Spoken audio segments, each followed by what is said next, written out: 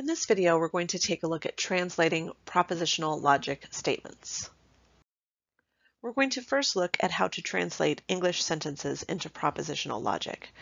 And the first thing we're going to do is we're going to look at our statement and identify any atomic propositions, which essentially means I'm going to look at my sentence and look at what would be propositions. So if I go to the store or the movies, I won't do my homework. So to me, I see I go to the store and then I go to the movies and do my homework. So I'm going to let P represent I go to the store.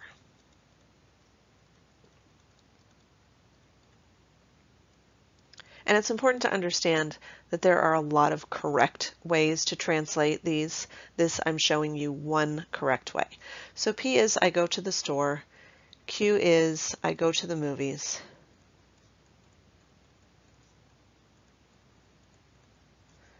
And R is I do my homework. Now it is a good idea, so notice here I'm looking at I won't do my homework. I'm not going to represent R as I won't do my homework. We always represent the proposition as the positive, and then if it's a negative, we just negate it. So the first thing I did now is I looked at my P, Q, and R, and now I want to identify any logical connectives. And remember those connectives are negations or disjunctions or conjunctions or implications, any of those things that we just got done learning about in our last couple of videos. So what I see is I see an if then, and notice there is no then, but here is where that then would go. I see an or, and I see a negation. So let's take a look at how I might represent this using PQR. Now keep in mind when you are translating, you need to write this. You need to verify or identify what proposition represents what phrase. So if I go to the store or to the movies, so I'm going to start with go to the store or the movies. That would be go to the store or go to the movies. So I'm saying if I do that, and now I'm going to say this is an if then. So if that occurs, then what happens? Then I won't do my homework. So R is do my homework. So I'm going to say not R. So the way I could translate this is P or Q, if P or Q, then not R.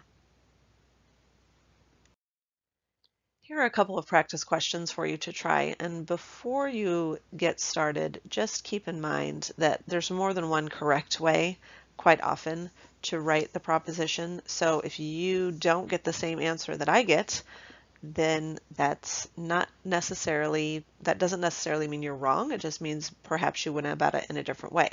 So for question one specifically, there's a couple of ways that I can think of to do it, and I'm sure there are others as well.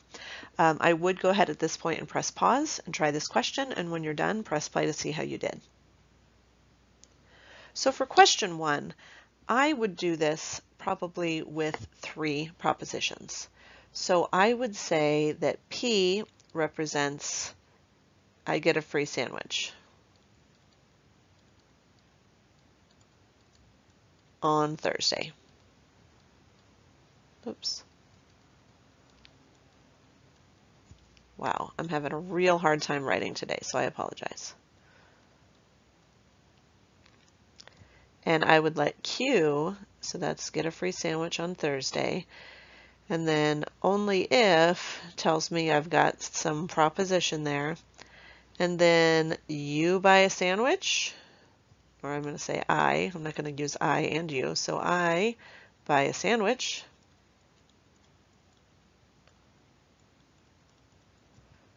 And I buy a cup of soup.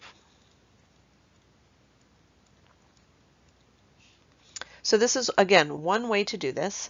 And using the propositions the way that I've written them out, then we would write, and I'm just going to stick with yellow. So I would say, if I buy a sandwich or a cup of soup, So that's Q or R. Then I get a free sandwich Thursday. So this is how I would write that using the uh, propositions that I have come up with. Now, you may argue that we shouldn't include on Thursday here. So I might say that S represents it is Thursday. So if this is the way then that I went about my propositions, then I would say if, well, I'm just going to start with Thursday. If it is Thursday and I buy a sandwich or a cup of soup, then I get a free sandwich. So see how I did it two different ways. Both are just fine. Um, it's really all in how you assign these, which is why I will always look for how this is assigned. So don't just underline it. I actually want to see you explicitly write it out.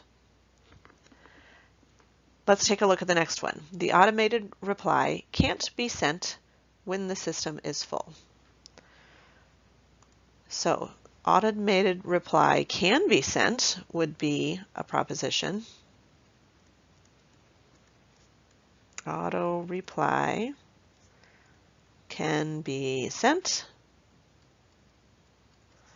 Q system is full.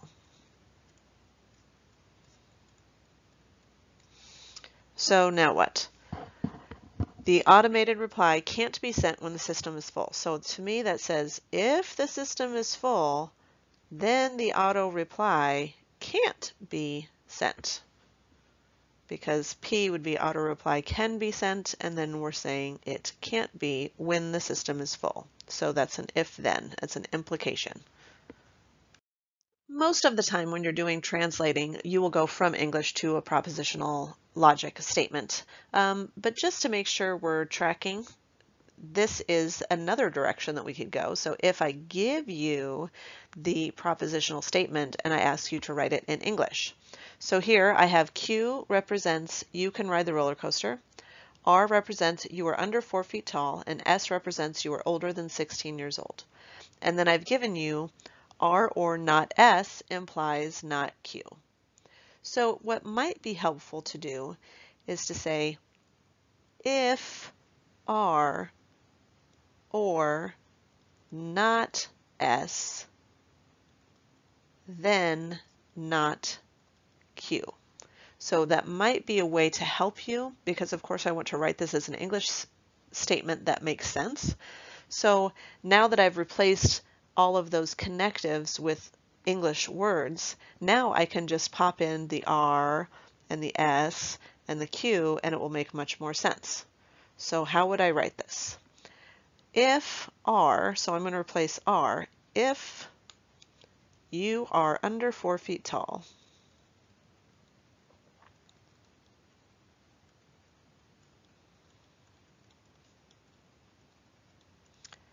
or not S. So S is you are older than 16 years old. So I could either say, or you are not older than 16 years old, or I could say you are younger than 16 years old, whichever is fine. If you are under four feet tall, or I'm going to say younger than 16 years old.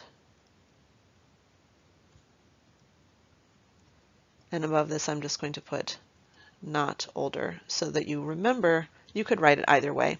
If you were under 4 feet tall or younger than 16 years old, then not Q. So Q is you can ride the roller coaster. Then I could say, then you cannot ride the roller coaster.